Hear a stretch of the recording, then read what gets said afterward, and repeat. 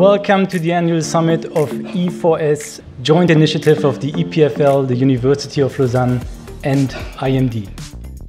We have an incredible asset on which to rely, which will enable us to achieve this vision, is a large and complementary competence pool across our three institutions. At E4S, we have very, very ambitious goals and a very ambitious vision, right? If I try to actually summarize this vision in a nutshell, it is essentially about contributing to invent, right, the world of tomorrow and to transform the economic system we are in in order to make it more sustainable, but also more resilient.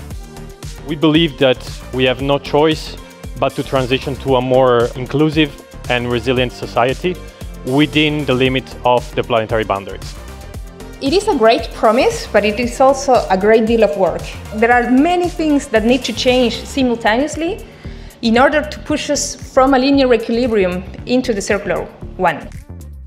Every year, we produce the equivalent of the mass of the global population in plastic. And the issue is that we recycle only 10% of plastic. The humankind will have to take out of the subsoil for the next 30, 30 years as much minerals as we have ever taken since the beginning of humanity.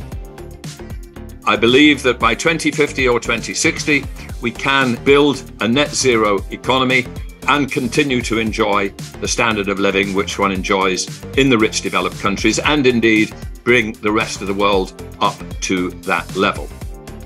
You know, I'm always amazed when I look back that it took me almost 32 years to actually, you know, confront the word mental health. You know, mental health is really a community problem and it will take a community to solve it. Some of the ways that we learn today about doing that are through generating awareness. Awareness in yourself, but awareness of what to look for in others. Being a psychologist myself, these are topics that are dear to my heart, obviously.